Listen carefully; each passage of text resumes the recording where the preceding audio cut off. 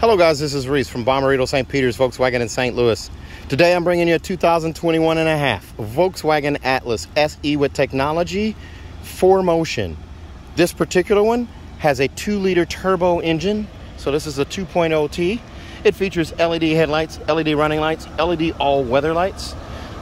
The LEDs actually run into the middle grille rib right there on the front and also align with the top chrome rib across the top of the headlight assembly. It also has keyless entry on all four doors, black roof rails. Uh, it'll have adaptive cruise control, blind, blind spot monitoring, rear traffic alert, a power lift gate, remote start, five years of free CarNet services. You'll be able to remote start the car from your phone, a power lift gate, LED tail lights, LED turn signals, LED reverse lights, the oversized reflector at the base of the bumper here and then also these chrome exhaust tips that are faux exhaust tips on the back. And it says SE on the back corner here. Up here right below the new Volkswagen logo it says Atlas the only place on the car it says Atlas. And then over here on this side it has the old school 4Motion label. For 2022 they will have the new 4Motion label on the back. There's a look at the 20 inch alloy wheels nice sweeping line down the side of the car, under the door handles, into the wheel arches, and into the tail lights, and then uh, likewise into the front headlights. Let's take a look inside. As we walk up here, this one's gonna have Shetland beige interior. Here's a look at that beige. It's kind of eye-popping here. Makes the car look a lot more elegant and classy with the beige, and it also makes it look bigger and much more roomy inside. It is large and spacious, but it makes it look even bigger with the lighter color. So as we look at this seat here, you have lumbar support, power lumbar forward and back right here. Your seat back adjust, or your seat forward and back and up and down right here. And then this is your seat back adjust. You have this nice bold white contrast stitching right up the bolster here and behind the shoulder here. It continues up into the manual headrest here with this little button here and also on the passenger seat right there. And as we climb in here, I'll turn this down a second. It shows 101 on the temperature gauge here. I'll turn down the fan there so the phone's not picking all of that up.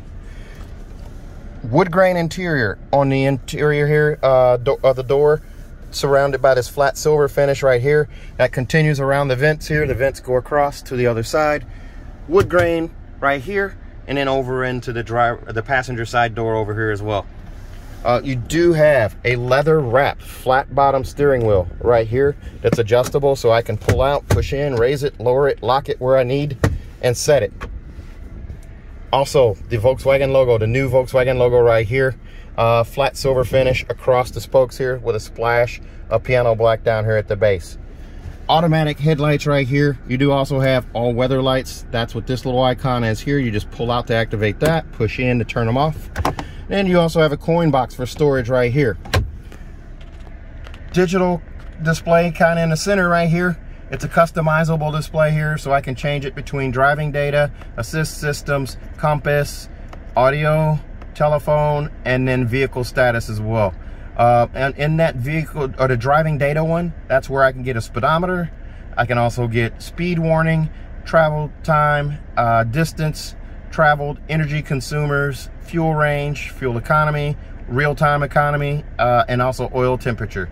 So I have all of these different settings that I can go through. And I just navigate using the left or right here, these two little file folder things, and then also the up and down and the OK. This is basically my mouse here.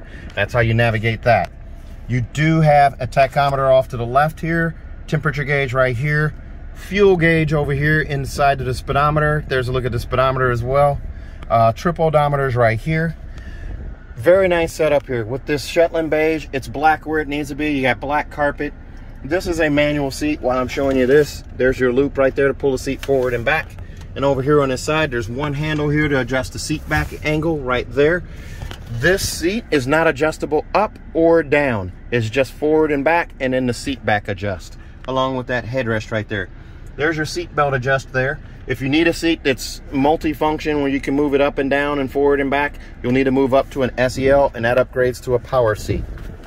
Right here on this radio, this is an MIB3 radio. It does have gesture control. Let's see if I can get it to work. Yeah, I got it to work. So you do have gesture control right there. It does look for, as long as that hand is showing there, it's looking for, that you wake the sensor up and it shows uh, that it's looking for your gestures to move the screen across. Also, AM, FM, and satellite.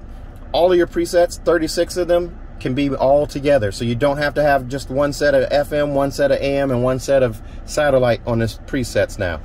The backup camera, pretty spectacular. It does HD video. So this is what it looks like here. I have trajectory steering. I can turn the wheel left. The yellow line moves that way. I turn it right. The yellow line moves accordingly. Green line signifies straight, uh, the straight back, uh, and the red line signifies where my bumper is.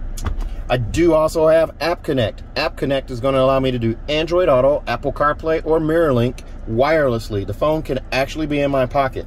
Once you do your Bluetooth setup, this will prompt you for one of these technologies here, and you'll be able to run Waze, Apple Maps, Google Maps from your phone and show up on this screen here without a cord. Down here, two USB connections, USB-C connections right here. If you want to do the old school connect your phone and charge it that way, these are charging ports as well as data ports for the Android Auto or Apple CarPlay there. You have wireless charging in this tray right here and a 12 volt charger port right there. Very nice. Also, tri-zone climate control, dual zone up front, so you've got these two up front and you can also control the back as well by pushing the menu button. It brings up the touchscreen here. I can toggle between front and rear just by touching on the screen here. I also have air care. By touching the active button here, I actually uh, trigger the air filtration system. It actually scrubs the air before it circulates it in the cabin. So if you live by a stinky landfill or if uh, uh, your road has somebody that has run over a skunk or you've run over a skunk, and you're not gonna smell it in the car.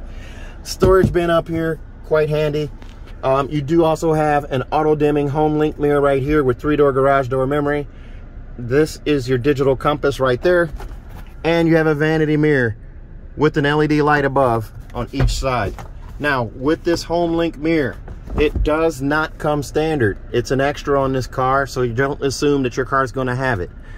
Up here, sunglass storage, right there. And then you have your CarNet buttons right here. CarNet's going to be free for five years. Uh, here's a look at your cup holder down below. Key fob right here. The key fob has your standard unlock and lock, uh, remote start and power lift gate there with the panic alarm on the side. Speaking of the power lift gate, I can open it and close it from here. So if I'm doing contactless pickup, I can lift up on that gate. That opens it. And then lift up and hold and that will close it. The key is I have to lift up and hold to close. All right, in the glove box here, there are your manuals right there, your tire warranties and your extras right there. Two sets of SD card reader holders right there, or SD card holders. Uh, they deleted the SD card reader and the CD player, but they kept those. Not sure why, but they did. There's a look at the Shetland beige on the leatherette seats. Very nice. There's a look at that headrest. The armrest is also padded in the leatherette and Shetland beige with the white stitching. Inside, black carpet, USB-C connection in here for a third one. Now you do have the option of getting a drop-in bin. Amazon sells storage trays. I think VW.com does now too. Uh, also, there's a drop-in safe that you can get through VW.com or at your local dealer, or you can ask me for one, and uh, you can pay for it and we'll ship it to you. It's about 200 to 250 bucks. I can't remember what the exact dollar amount is, but if for CCWs, if you want a locked safe to store your firearm in, you have it right here. Again, black carpet on the floor. It's black where it needs to be. Let's take a look at the second row. As I step out, I'll show you that carpet right there. There's a look at that carpet. So it protects you against scuff marks here because it's black in color. The seat is beige. Uh, anywhere where you're going to have scuffs and things of that nature, they thought about it and put it in black. Same back here. This particular unit has captain's chairs. Fold away armrest right there. Also one right here. The seats have your car seat hookups here and here and over there as well. You do also have a sunshade built into the door right here. SE and up units will have that.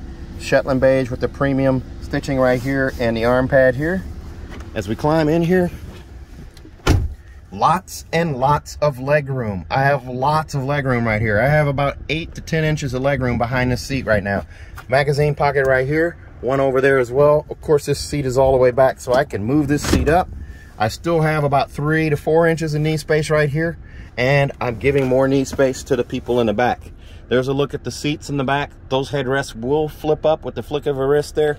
The seats set high off the floor, so your rear passengers, if they're six foot two, six foot three, they're still not gonna complain back there because their knees won't be in their chest. Here's a look at those seats again here. There's a two-way switch right there. That brings the seat forward, and that also brings the seat back. So I'm gonna try to demonstrate this in the comfort of air-conditioned interior in the car. So the bottom drops out of the seat, it pitches forward. So if you have a front-facing booster, you don't have to remove the seat to get into the third row here. That gives you that access right there. Just remember to remove the kid. Please remember to remove the kid. This switch right here is also two-way, so I'm gonna lift it up this way to put the seat back. Now the seat's back in place. Still have all that leg room there, so I'm gonna lift up on this bar underneath, squeeze it, and push back. And now we have ample leg room back in the back and also right here. With the seat right here, I'm gonna do something different. I'm actually gonna climb into the third row so you can see that. So with the captain's chairs, I am able to do that. As I sit back here and move the headrest up, I do have two to three inches of knee space behind this seat here. Now notice my foot placement here, it's by the rail right here. But even with a bench here, I still have knee space back here. And here's the other seat. I'm six foot one, I'm sitting right here this seat. Still comfortable? I still have headroom back here.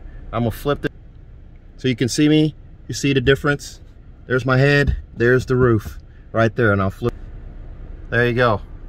Lots and lots of space in this car. This is a six-seater option. C-pillar vents right here and also over here. Very nice. So i'm going to climb out here and go to the back As I climb out here, I'll move the seat back. Here's a look at those alloy wheels. This particular one does have a bumper dillo on it. So I, I did something different here. I climbed through from that middle row. So I want to show you something here. Here's the window sticker. 41,595 for this one. The extras are going to include captain's chairs for 695 second row captain's chairs, auto dimming rear view mirror with HomeLink for 325, Volkswagen logo front puddle lights, 200 bucks, Mojo mats for captain's chairs for 185 and a bumperdillo on the back for 150. There's a look through at those seats again. The wheels on the back. Here's your bumper dillo. And between the T and the L, that's where your, your button is for the rear hatch. And now we'll look through from the back. These headrests as I said, we're adjustable and there's a little lock tab right here. You just push in on and now you can push down on a seat. There's a look at your six-seater setup there. Black carpeting on the back. These are steel reinforced. So are those seats there. So in the event of a crash, anything that's back here in the back doesn't go flying into the seat and injure the person sitting in the seat. These seats do fold flat, just like this, just with that little lever up at the top. And then I can pull on this guy right here and put it back in place. Velcro strap to keep it out of the way. This is the switch that I flipped there. I think I might have missed it on the camera. Same here. Pull up on this guy right here. Make sure that locks right there. And then this is the button that we pull. Mojo match right here with the Atlas embroidery. Nice flat floor right here. You lift it up. Your spare tires underneath this carpeted floor. You just release this guy right here and remove the carpeted tray and the jack and your spare tires underneath. There's your power lift gate. This car does come with a four-year, 50,000 mile bumper-to-bumper warranty on it from Volkswagen. That's four years, 50,000 miles. That includes two years of free maintenance, so your 10 and 20,000 mile oil change are covered by Volkswagen.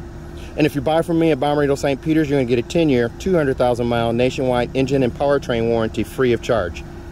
That's an addition. Also, if you buy from me, we'll give you a third year of free maintenance, so your 10, 20, and 30,000 mile oil changes will be covered. If you're interested in this car or another car just like it, or if you need to order a car, your local dealer won't order it for you, and you're willing to travel to St. Louis, give me a call. 636-290-4257, 636-290-4257. I'm on Instagram, YouTube, Facebook, and Twitter at Reese Sells Cars. Thanks a lot, guys. Stay safe, stay healthy. Have a great day.